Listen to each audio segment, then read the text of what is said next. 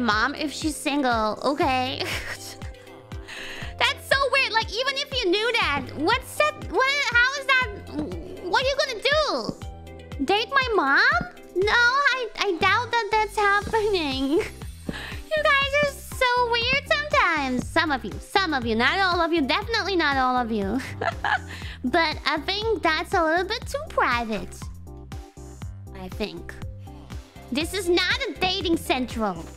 Not a dating website stream. Mama! Shush! no, no, not you too! Not you too! No, no, no, no!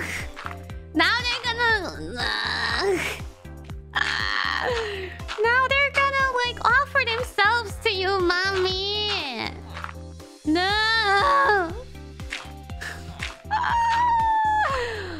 Oh dear. Where can we apply? Nowhere. You gotta be a phoenix in order to date a phoenix. you sure about that, mommy?